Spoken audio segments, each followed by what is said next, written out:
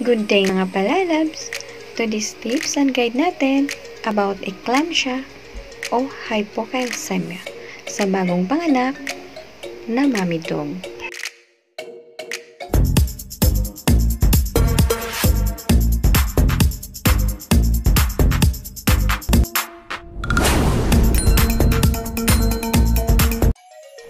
Eclampsia is a condition in lactating dogs that leads to weakness, muscle stiffness, seizures, and even death.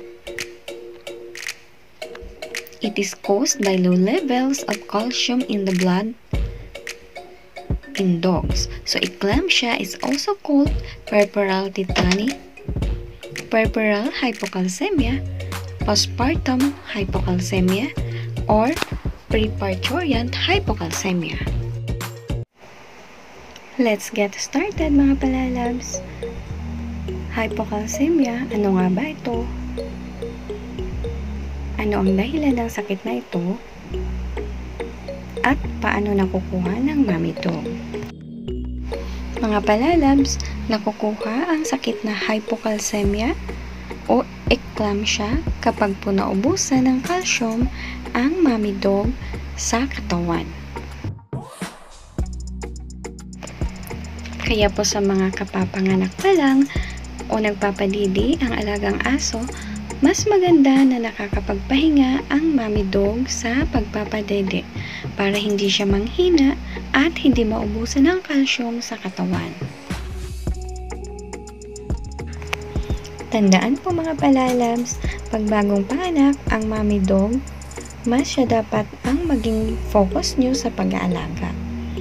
Siya ang kailangan nyo palakasin kasi siya na ang bahala sa papis niya.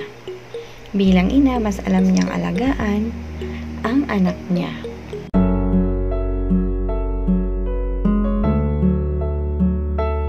Mga palalabs, kapag talagang naubusan ng calcium sa katawan, maaaring mamatay. Kaya inaagapan talaga yan na hindi maubusan ang mami dog ng calcium sa katawan. Isa pang dahilan kaya dapat wag lagi nakababad ang papi sa mami dog ay para din mas mabilis lumaki at healthy ang puppies pag nakakatulog sila ng maayos. Pagkatabi kasi nila ang mami dog, nararamdaman nila ang dede kaya subo agad. Pero kung wala ang mami sa tabi nila, diretso ang tulog nila at gigising lang, iiyak dahil gutom na. Yan ang dahilan kaya hindi po dapat nakababad ang mami dog sa puppies. Mga signs and symptoms ng hypocalcemia o eclampsia. Lalagnatin, manginginig, mamumutla, at manghihina. Mga palalabs, aside sa mommy dog, kailangan din ng other pets ang calcium, lalo na sa pets with abnormally low calcium levels. So, madalas makikitaan natin sila ng signs of muscle twitching, loss of appetites, weakness, and listlessness o walang sigla. In severe cases, pets may have convulsion or seizures. Please panoorin po mga palalabs para sa karagdagang kalaman. See you on my next vlog. God bless and bye-bye!